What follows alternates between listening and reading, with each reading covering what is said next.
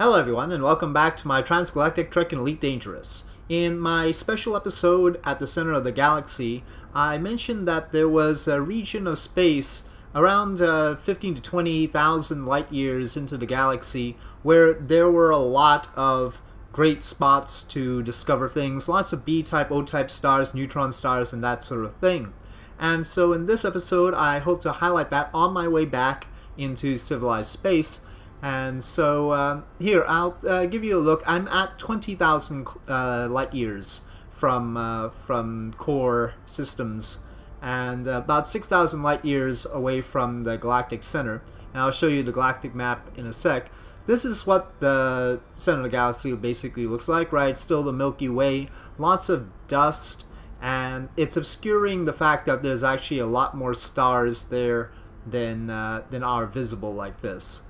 But if I turn around, you will note that there is a very distinct border where the dust ends and we get a lot of these blue stars. Here are all the B-type and O-type stars and this is pointing in the direction back to Sol System and the rest of space and of course there are other arms and so you see another dust belt there where we have another arm of the galaxy but there's a obvious cluster of very bright stars and there is the next system that I'm going to be heading to so let me show you what this looks like on the galaxy map so you can sort of still see the haze of the center of the galaxy, right? The center of the galaxy has this haze around it, and then there are other arms with some dust. And here at 20,000 light years, I'm still heading in a sideways direction to, uh, you see I've only got selected B-type, O-type, carbon, Wolf-Rayet, and white dwarf, white dwarf stars, and of course non-sequence stars, which will be our neutron stars and black holes. And uh, over here on this side, I don't have too many of them, but I'm heading into a, the first of many, many clusters where we do have quite a lot of these B-type and O-types. And then if I continue in this direction towards the center of, uh, not the center of, but uh, the back to where I can sell all the products of my exploration, you can see lots and lots along this road. plenty of stuff uh, if you're if you like uh, really bright stars. Of course, there are plenty of A-type stars. These are good for finding and G-type stars, all good for finding uh, terraformable worlds, which are very valuable. And if we just want to see O-type stars, there aren't too many here yet. But as we continue, you can see a few get spotted. And I'll probably be making my way to them as waypoints along my trip. But more and more as we get further in. So here we can see that there are little clusters and then they peter out sometimes and then there are more clusters. What I'm really interested in, so there's a less dense region, but right back here there's a huge dense region. But what I'm really interested in are these sorts of things. Oops. There's a non-sequence star, and what is that? That's a neutron star. And so right here, uh, we're going to get some of the neutron stars. And so if you're looking for your black holes and neutron stars, you're probably going to find them around the 15,000 light year mark or around there. Of course, these are very valuable for, uh, I mean, not as much as the terraformable worlds or Earth-like planets, but still good finds try to see if we can uh, find a black hole. Uh, most of, mostly you'll find a lot of neutron stars. So anyway, I will uh, continue this trip in this episode and I'll show you what I can find. Here's a nice little cluster of them. Neutron. Okay, so I'll try and cover as much of this little region as possible. And again, if we uh, turn back on the rest of the stars, you can see there's there's plenty of these bright stars to look at and of course where there are bright stars there are also plenty of stars that have potentially habitable planets lots and lots okay but the site I wanted to greet you with is this one and this is a stark contrast to what we saw at the center of the galaxy. There's quite a field of stars here. And so I'll be making my way through this. Now, this here is the first B-type star I've seen since I was at the center of the galaxy. The region within 6,000 light years of Sagittarius A doesn't really have many large stars like this. This is the first one I've seen since I made the rest of the way in. And I don't think... Was there anything interesting around it? The trouble with big stars, of course, is you're not going to get many terraformable planets around it.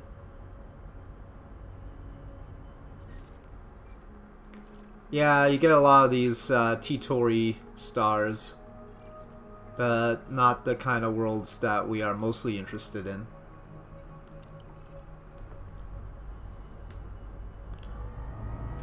But so I generally plot between B-type stars, but then hit a lot of F-types, G-types along the way, and those generally have the type of planets that I'll be interested in. Fuel scoop disengaged. Fuel scooping. Now, if you weren't impressed by how much of a distinct border there is between one region and, and another, here you can see, thanks to the fact that uh, the B-type star is obscuring the light from some of the other stars, the very clear line, delineating line between the region of the center of the galaxy where there aren't too many bright stars, but a whole lot of stars, the actual star count is huge, and where we're headed, which is back home. So I'm heading right now to this neutron star, out from that B-type star you just saw. And on the very first jump, I've encountered this F-type, which is a nifty looking one. And this F-type actually has some interesting planets around it. Uh, we can see this one. Oh, that, that looks quite, quite suggestive. Uh, this is 3.71 astronomical units out, so that's probably going to be too cold.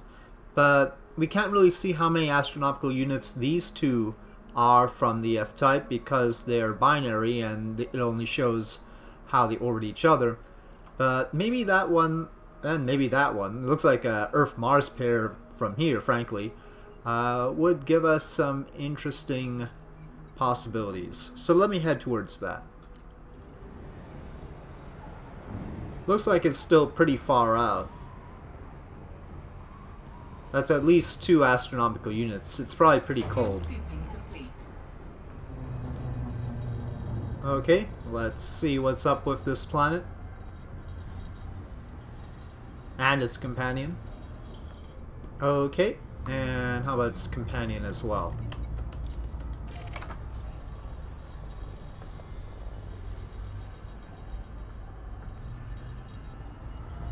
We can take a closer look. Well, that would be quite a night sky for this planet. Okay, let's see whether it's got what we are looking for.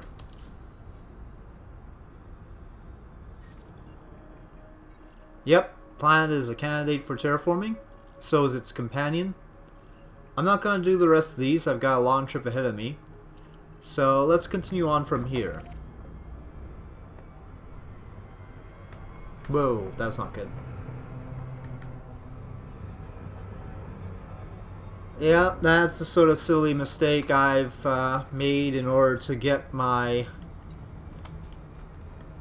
my ship down to these numbers in health. Notice the cargo hatch at 36%, life support at 47%.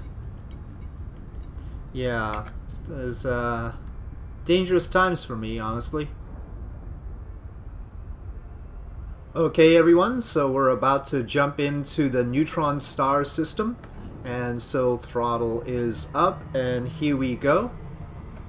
Frameshift drive charging. Four, three, two, one,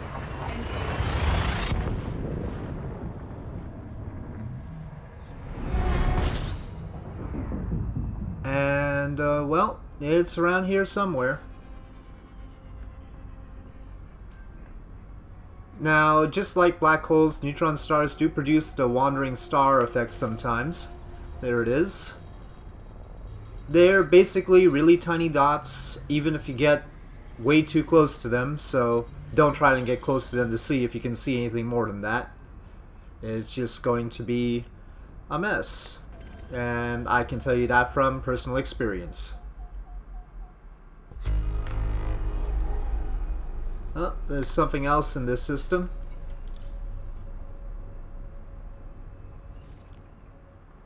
So as expected, this neutron star hasn't been discovered by anybody else. Most of the stuff out here hasn't been discovered by anybody else. It's got a companion star. Uh, let's see if it's in decent range, but there's nothing else around, so I'm probably not going to waste too much time. I think I can ping it from out here. Let's see how close I need to be to ping it.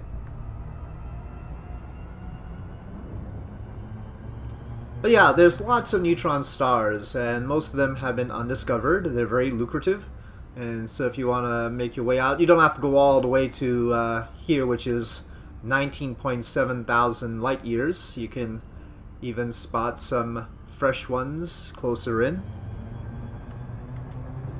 And again, we still have the definite border between the field of blue stars here and then the dusty area in the center there. Okay, looks like we can ping this G-type star at a range of 9,000 light seconds. I'll just slow down a little bit here. Could do some fuel scooping at it, but I think we have plenty to continue on with. Okay, so that's done, and let's look at the map and see where our next destination will be. Okay, so uh, we are starting out here now, and you can see we've made about 300 light years since I started the episode, and I've only got O-types, Carbon, Wolf-Rayet, and White Dwarfs selected. The B-types are, of course, quite numerous, as you can see just in this region, but... Uh, There is a neutron star there. There's a, I think that's another neutron star.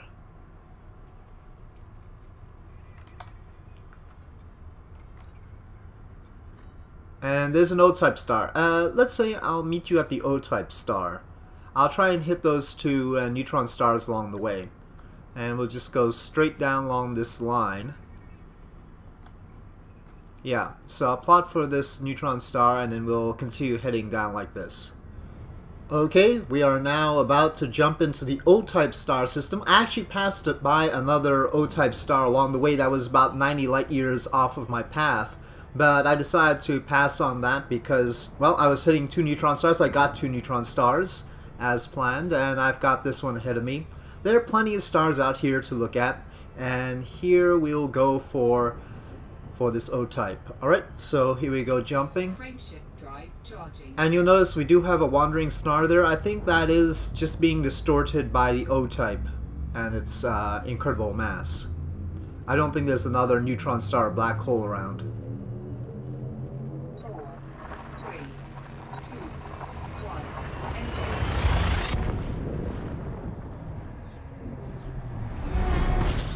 Oop.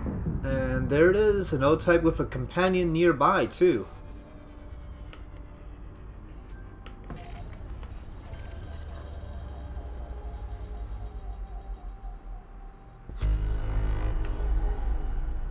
Three new astronomical objects, not too much in this system.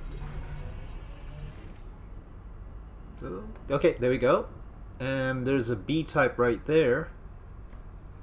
Very convenient. But let's see what is in the system.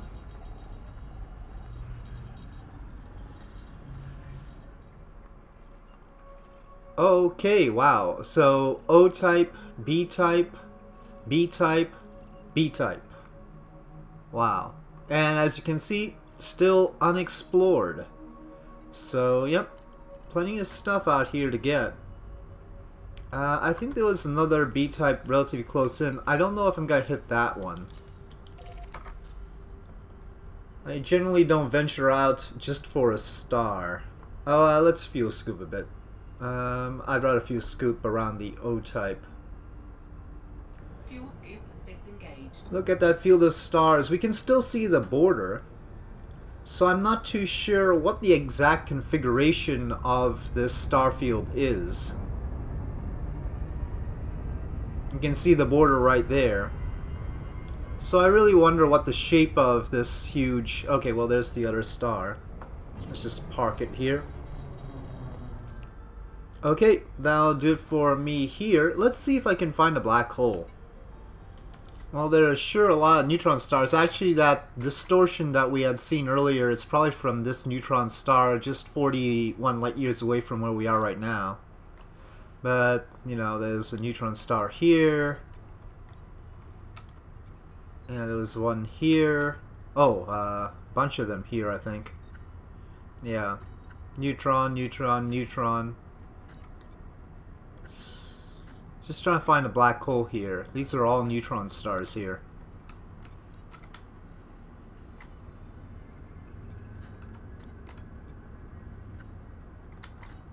You'd figure that there'd be some black holes somewhere around.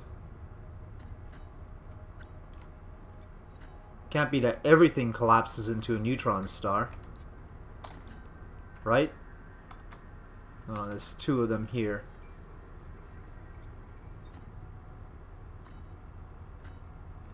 Wow, lots of neutron stars. Well, if you're a fan of neutron stars, you can definitely find them. There's way too many for me to pick up.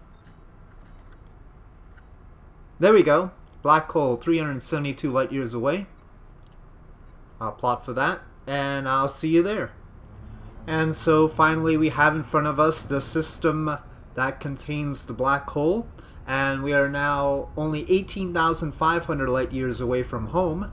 Uh, so about uh, 7,500 light years from the galactic core. And what used to be a very, very distinct border, you'll notice now there are blue stars on the opposite side of the border. We used to have a very hard line here. Now some of the blue stars are on the opposite side because we've traversed a thousand light years and they are now behind us. So there's no longer quite the same distinct line that we had previously, but still a very clear concentration, much higher density on this side. And so we continue on, and let's see about this black hole. Frameshift drive charging. Four, three, two, one, engage.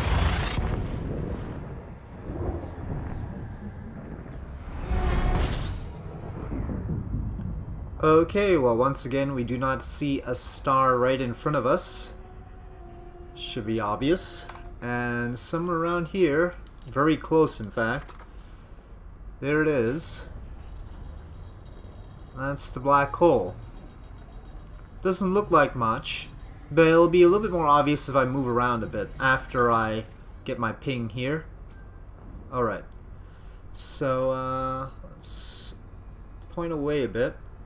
And now you can see stars shifting around just like they did with the galactic core. You can see there's sort of a sphere of stars moving in a particular direction.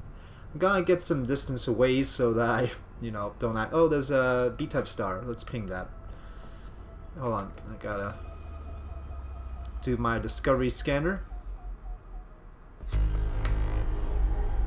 Okay, and let's Let's head in this direction a bit and then we'll turn around and face the black hole again.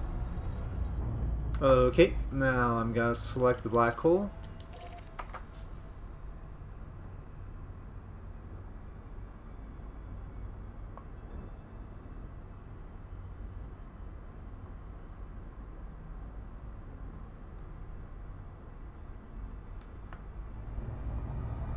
And there you go, you can see the stars moving to the side there very clearly.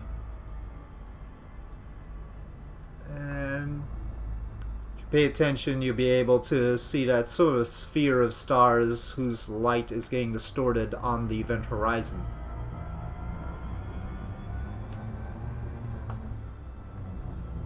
And then there's still the, these wandering stars. I'm not entirely sure how that works, but yeah, we still get these. But anyway, that's what black hole looks like in Elite Dangerous when it's small, when it's not at the galactic center and it's a huge, huge million star mass thing. Okay, but with that, I'm. Let me see if I should continue exploring this system. But I'll probably leave it there unless we've got a likely Earth-like planet around here somewhere, which is doubtful with such a big star and a black hole involved. So there's the black hole, and as expected, nobody's discovered it yet. It's an A-class star, not a B. My mistake. Yeah, it doesn't look like there are any Earth-likes. I don't know, that's... Let's see... That's an interesting ring planet right there, but I think that's just going to be ice anyway.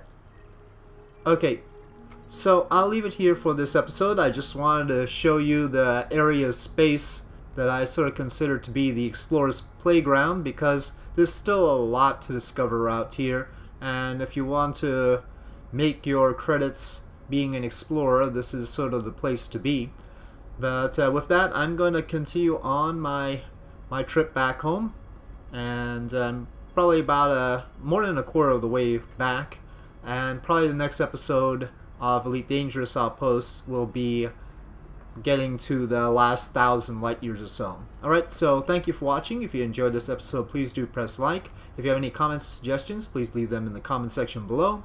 And I'll see you next time.